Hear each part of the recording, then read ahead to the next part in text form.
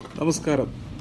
സത്യത്തിൽ ഈ അരിക്കൊമ്പൻ എന്നുള്ള വിഷയത്തിൽ എന്താണ് നടക്കുന്നത് എനിക്കൊന്നും മനസ്സിലായിട്ടില്ല കേട്ടോ അറിയുന്നവരാരെങ്കിലും ഒന്ന് പറഞ്ഞേരണം കാരണം എന്താണെന്ന് വെച്ചിട്ടുണ്ടെങ്കിൽ കുറേ നാളുകളായിട്ട് അരിക്കൊമ്പൻ മനുഷ്യനെ ആക്രമിക്കുന്നു അരി തിന്നുന്നു റേഷൻ കട തല്ലിപ്പൊളിക്കുന്നു ജനവാസ മേഖല ജീവിക്കാൻ സമ്മതിക്കില്ല എന്നൊക്കെ പറഞ്ഞിട്ട് ഈ പറഞ്ഞ പ്രദേശവാസികൾ ഈ ഗ്രാമവാസികളാണ് പ്രസ ഈ പരസ്യം അല്ലെങ്കിൽ ഈ പ്രകടനങ്ങൾ നടത്തിയതും.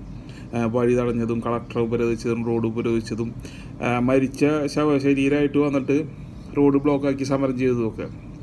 അങ്ങനെ ഇത്രയേറെ വിഷയങ്ങളുണ്ടായിട്ട് ഈ പറഞ്ഞ മാതിരി തന്നെ ഒരുപാട് പിന്നെ ഒരു സമരം ചെയ്ത് നേടിയെടുക്കുക എന്നുള്ളതൊന്നുണ്ട്.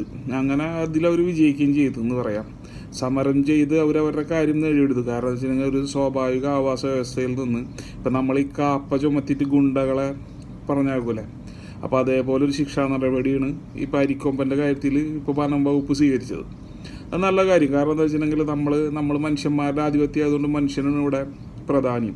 അത് കഴിഞ്ഞിട്ടാണ് ബാക്കിയുള്ള ആൾക്കാർക്കൊക്കെ ഉള്ളൂ എന്നുള്ളത് നമുക്ക് എന്താ പറയുക ഒരു പരസ്യമായിട്ടുള്ള ഒരു രഹസ്യമാണ് അപ്പോൾ അതുകൊണ്ട് തന്നെ പക്ഷേ വനം വകുപ്പ് എന്ന് പറഞ്ഞാൽ അല്ലെങ്കിൽ ഈ മൃഗസംരക്ഷണ വകുപ്പ് എന്ന് പറഞ്ഞാൽ അവർ ചിലപ്പോൾ മനുഷ്യനേക്കാളും കുറച്ചും കൂടി മുഖ്യം അവരുടെ വകുപ്പിൽ പെട്ട അല്ലെങ്കിൽ അവരുടെ വകുപ്പുണ്ടാവാൻ കാരണമായിട്ടുള്ള ഇവർക്ക് കൊടുക്കുന്നുണ്ടായിരിക്കും അതെന്തെങ്കിലും അവിടെ പക്ഷെ എന്നിരുന്നാലും നമ്മളിത് കണ്ടിട്ടുള്ള ന്യൂസ് എന്ന് പറഞ്ഞു കഴിഞ്ഞാൽ ആൾക്കാരെ വന്ന് കൊല്ലണ്. രാവിലെ എണീക്കാൻ പറ്റുന്നില്ല രാത്രി ഈ പറഞ്ഞ ഒരു ബാത്റൂമിൽ പോകാൻ പറ്റുന്നില്ല ഭക്ഷണം കഴിക്കാൻ പറ്റുന്നില്ല കിച്ചൺ പൊളിക്കണ് അല്ലെങ്കിൽ റേഷൻ കട പൊളിക്കണ് എല്ലാ ദിവസവും വീട് തല്ലി പൊളിക്കണ് മനുഷ്യന്മാർക്ക് സൗകര്യ വിഹാരം നടത്താൻ പറ്റണില്ല എന്നും പറഞ്ഞിട്ട് ആകെ ബഹളവും കംപ്ലൈന്റും ആയിരുന്നു.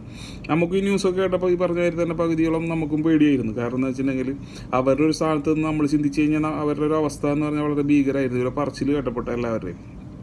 കാരണം സ്വസ്ഥമായിട്ടൊരു സ്വസ്ഥമായിട്ട് ഒരു ആറു മണിക്ക് ശേഷം വീടിന് പുറത്തിറങ്ങി നടക്കാനോ അല്ലെങ്കിൽ കുട്ടികളൊക്കെ ഉള്ളതാണെങ്കിൽ എവിടെയെങ്കിലും ഇരുന്ന് പോയിട്ട് തിരിച്ചു വരാനോ അല്ലെങ്കിൽ എന്തെങ്കിലും സാധനങ്ങൾ അത്യാവശ്യമായിട്ട് വാങ്ങാനോ ഒന്നും പോകാൻ പറ്റാത്തൊരവസ്ഥ എന്ന് പറഞ്ഞാൽ അതൊരു ഭീകരം തന്നെയാണ്. നമ്മളെല്ലാവരും അനുഭവിച്ചിട്ടുള്ളതാണ് കൊറോണ സമയത്ത്. അപ്പോൾ ഏകദേശം അതിനോട് തുല്യമായിട്ടുള്ള ഒരു അവസ്ഥ ആയിരിക്കും അവരെ അവർ വളരെ ബുദ്ധിമുട്ടിലായിരിക്കും എന്നൊക്കെ നമ്മൾ വിചാരിച്ചത്. അപ്പോൾ അതുകൊണ്ട് തന്നെ അവരുടെ സമരം ന്യായമാണ്.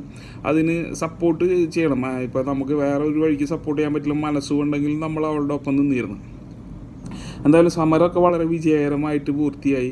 വളരെ കഷ്ടപ്പെട്ടിട്ടാണ് ഈ മൃഗസംരക്ഷണ വകുപ്പും അതുപോലെ തന്നെ ബാക്കിയുള്ള എല്ലാവരും ഗാർഡുമാരെല്ലാവരും കുറേ കഷ്ടപ്പെട്ടിട്ടാണ് ഈ ആനനെ പിടിച്ച് എന്താ പറയുക കാപ്പ ചുമത്തി നാട്ടിൽ നാട് കടത്തപ്പെട്ടത്. നാട് കടത്തപ്പെട്ട പിറ്റേ ദിവസം മുതൽ തുടങ്ങിയതാണ് ഇവർ അരിക്കൊമ്പനെ തിരിച്ചെത്തിക്കണം അരിക്കൊമ്പനെ തിരിച്ചെത്തിക്കണം എന്ന് പറഞ്ഞിട്ട്. ഇതിപ്പോൾ ഇതിന്റെ പിന്നിലുള്ളവർ ആരാണ് എന്നുള്ളത് അറിയില്ല. കാരണം വെച്ചാൽ കുറേ മൃഗസ്നേഹികളുണ്ട്. പറഞ്ഞിട്ട് കാര്യമില്ല. അവർക്ക് അവർ ഉത്തരവാദിത്വം നിറവേറ്റാണ്ടിരിക്കാൻ പറ്റില്ല കാരണം മൃഗസ്നേഹം എന്ന് പറഞ്ഞ വെറുതെ പറഞ്ഞിട്ട് കാര്യമില്ല. പട്ടിനെ കൊല്ലുമ്പോൾ കൊല്ലരുതെന്ന് പറയണം. ആനനെ നാട് കടത്തുമ്പോൾ നാട് കടത്തരുതെന്ന് പറയണം. ഇതൊക്കെ മൃഗസ്നേഹത്തിൽ പെട്ടാണ്. അപ്പോൾ അത് അതുകൊണ്ട് തന്നെ കാരണം അവരുടെ ഭാഗത്തുനിന്ന് സംസാരിക്കാൻ ഒരാൾ വേണം. വാദിക്കും ഒരു വക്കീൽ വേണം. പ്രതിക്കും വേണം ഒരു വക്കീൽ. പ്രതിയുടെ ഭാഗത്തുള്ള ന്യായം പറയാനും വേണം ഒരു വക്കീൽ എന്നുള്ളത് നമ്മളുടെ കോടതിയിലൊരു നിയമമാണ്. അതുപോലെ തന്നെയാണ് ഇവിടെയും അവരെ മൃഗങ്ങളുടെ ഭാഗത്തു നിന്ന് സംസാരിക്കാൻ മൃഗങ്ങൾക്ക് നമ്മളെ പോലെ സംസാരിക്കാൻ പറ്റാത്തതുകൊണ്ട് തന്നെ കുറച്ച് മനുഷ്യന്മാരുണ്ട് നല്ല കാര്യമാണ് അവർ മൃഗങ്ങളുടെ സൈഡിൽ നിന്ന് സംസാരിക്കേണ്ടതും തന്നെയാണ്. കാരണം എപ്പോഴും ഒരു എന്താ പറയുക ഒരു പ്രതിപക്ഷം വേണം എന്തിനും. എന്നാലേ ഇവിടെ ന്യായങ്ങൾ ഉണ്ടാവുള്ളൂ. അപ്പോൾ എന്തായിരുന്നാലും ഇത്രയും പുകിലും പ്രശ്നമൊക്കെ ഉണ്ടാക്കിയിട്ട് ഇതെല്ലാം കഴിഞ്ഞ് എല്ലാം കൊണ്ടുപോയി. തൊണ്ണൂറ് ശതമാനം ആൾക്കാരും ഇത് നല്ലതെന്ന് പറഞ്ഞിരിക്കുകയായിരുന്നു എന്ന് തോന്നുന്നു. പക്ഷേ ഇപ്പോൾ കുറച്ച് നാളായിട്ട് ന്യൂസ് വരെ ഇത് മാധ്യമ സൃഷ്ടിയാണോ അല്ലെങ്കിൽ എന്താ പറയുക ഒറിജിനൽ ആണോ എന്നൊന്നും അറിയില്ല. എന്നാലും എല്ലാ ദിവസവും ഇപ്പോഴത്തെ ന്യൂസ് വരുന്നത് എന്താ അരിക്കൊമ്പനെ തിരിച്ചെത്തിക്കണം. അരിക്കൊമ്പന് ജന്മസ്ഥലത്ത് എത്തിക്കണം അരിക്കൊമ്പൻ ഇല്ലാതെ ഞങ്ങൾക്ക് ഉറങ്ങാൻ പറ്റില്ല.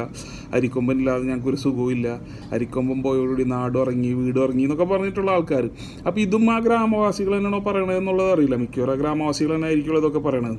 കാരണം ഇതിന്റെ പിന്നിൽ വേറെ അജണ്ട ഉണ്ട് അതുണ്ട് ഇതുണ്ടെന്നൊക്കെ പറയുന്നത് സത്യാവസ്ഥ നമുക്കറിയില്ല. എന്നിരുന്നാൽ കൂടിയിട്ട് ഇതിൽ എന്താ പറയുക ഈ കരഞ്ഞിരുന്ന അല്ലെങ്കിൽ ഈ സമരം ചെയ്തിരുന്ന ആൾക്കാരിൽ പെട്ടവരെന്നല്ല ഈ അരിക്കൊമ്പനെ തിരിച്ചെത്തിക്കണം ഇവിടേക്ക് എത്തിക്കണം എന്നൊക്കെ പറഞ്ഞിട്ട് വീണ്ടും ഈ പ്രശ്നം നടക്കുന്നത്. ഇപ്പം ഇന്നലെ മിനിയാന്നായിട്ട് നടക്കണമെന്ന് വെച്ചിട്ടുണ്ടെങ്കിൽ അരിക്കൊമ്പന്റെ പേരിൽ പണപ്പിരിവ് നടക്കണം.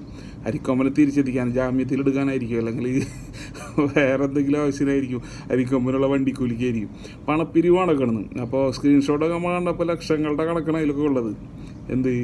ഈ സാധനത്തിന് ഈ അതായത് ഈ ഒരു ആനനെ തിരിച്ച് ഒരു നൂറ് കിലോമീറ്റർ ഇപ്പുറത്തേക്ക് എത്തിക്കാൻ വേണ്ടിയിട്ട് ഉള്ള പിരിവിൽ ലക്ഷങ്ങളെ കണക്കാണ് വരുന്നത്. അഞ്ച് ലക്ഷം മൂന്ന് ലക്ഷമൊക്കെയാണ് പറയണത്. എന്താണ് നടക്കണമെന്നുള്ളത് നമുക്കിപ്പോഴും വ്യക്തമായിട്ടൊന്നും മനസ്സിലാവുള്ളൂ എന്തൊക്കെ ആയിരുന്നാൽ കൂടിയിട്ട് എന്താ പറയുക അവിടുത്തെ നാട്ടുകാർ ഇതിനൊക്കെ സപ്പോർട്ട് ചെയ്യുന്നുണ്ടോ ഇല്ല എന്നുള്ളതും അറിയില്ല. അങ്ങനെ സപ്പോർട്ട് ചെയ്യുന്നുണ്ടെങ്കിൽ കാരണം എന്താണെന്ന് വെച്ചിട്ടുണ്ടെങ്കിൽ ഒരു നമ്മൾ സപ്പോർട്ട് ചെയ്ത പൊതുജനങ്ങളുണ്ടല്ലോ. അതായത് മൊത്തത്തിൽ അവരല്ലാത്ത പൊതുജനങ്ങളെല്ലാവരും മനസ്സുകൊണ്ട് ഐക്യം പ്രഖ്യാപിച്ചിരുന്നവർ അവർ പോലും ഇത് കാണുമ്പോൾ ഒരു വെറുപ്പായി തുടങ്ങണം. എന്തിന്റെ പേരിലാണ് നമ്മൾ ഇവർക്ക് ഇവർ ഇത്രയും കഷ്ടപ്പെട്ട് ഈ ആനനെ അന്നാ ജീവിക്കാനും സൗകര്യ വിവാഹം നടത്താനും ഒക്കെ എല്ലാത്തിനും വേണ്ടിയുള്ള സൗകര്യത്തിന് വേണ്ടിയിട്ട് ഈ ആനനെ അതിന്റെ സ്വന്തം ആവാസ വ്യവസ്ഥയെന്ന് ഞാൻ മുമ്പ് പറഞ്ഞ പോലെ മനുഷ്യന്റെ ആ ഒരു ആധിപത്യം സ്ഥാപിച്ചെടുത്തവിടെ ഇതിനെ പറിച്ച് വേറൊരു സ്ഥലത്തേക്ക് ഇട്ടിട്ട്. പക്ഷേ എന്നിട്ട് പിന്നെ അത് കഴിഞ്ഞിട്ട് വീണ്ടും തുടങ്ങിയിരിക്കണം ഇങ്ങനെ. ഇതിപ്പോൾ എന്താണ് എന്തിനാണെന്നുള്ളത്. പക്ഷേ അവിടുത്തെ ഒരു ജനങ്ങളുടെ ഒരു ഇന്റർവ്യൂ അല്ലെങ്കിൽ അവരുടെ ഒരു പ്രതികരണമോ ഒന്നും കണ്ടു ഇതിൽ സോഷ്യൽ മീഡിയ എന്നുള്ള ഒരു പ്ലാറ്റ്ഫോം ഉള്ളതുകൊണ്ട് ആർക്കും വേണമെങ്കിലും personally each and every one ഇതിൽ പ്രതികരിക്കുക ഞങ്ങളിതിന് ഉത്തരവാദികളല്ല ഞങ്ങളല്ല എന്നും പറഞ്ഞിട്ട്. പക്ഷേ അതൊന്നും കാണുന്നില്ല. ഇതൊന്നും അറിയാത്തതുകൊണ്ടാണോ അല്ലെങ്കിൽ അവരുടെ സമ്മതത്തോടെയാണോ ഇതൊക്കെ ചെയ്യണമെന്നുള്ളതും അറിയില്ല. എന്തായാലും ഇതിലൊക്കെ ഒരു ക്ലാരിറ്റി വരേണ്ടത് അത്യാവശ്യം തന്നെയാണ്. ഈ അരിക്കൊമ്പൻ വിഷയം. കുറേ നാളുകളായിട്ട് നമ്മളിപ്പോൾ സ്ഥിരമായിട്ട് കേൾക്കുന്ന ഒരു വിഷയമാണ് ഈ അരിക്കൊമ്പൻ അരിക്കൊമ്പൻ. ഇപ്പോഴത്തെ കേരളത്തിലെ മൂന്നാൽ സ്റ്റാറുകളിൽ ഒരാളാണ് ഈ അരിക്കൊമ്പൻ. അപ്പോൾ അരിക്കൊമ്പൻ വിഷയം എന്താണെന്നുള്ളതിന്റെ ഡീറ്റെയിലും അതിന്റെ ഒരു പരിസമാപ്തിയും ഒരു പിന്നാലെ എത്രയെന്ന് വെച്ചിട്ട് നമ്മൾ നടക്കാം. അപ്പോൾ ഇതൊക്കെ കൊണ്ടുവരേണ്ട ഗവൺമെന്റിന്റെയും അവിടുത്തെ പൊതുജനത്തിന്റെ ഉത്തരവാദിത്വം തന്നെയാണ്. അപ്പോൾ എന്തായാലും അതിനുള്ള നീക്കുപോക്കുകൾ ഉണ്ടാവുമെന്ന് വിചാരിക്കാം നമുക്ക് കേട്ടോ. ഓക്കെ ശുഭദിനം.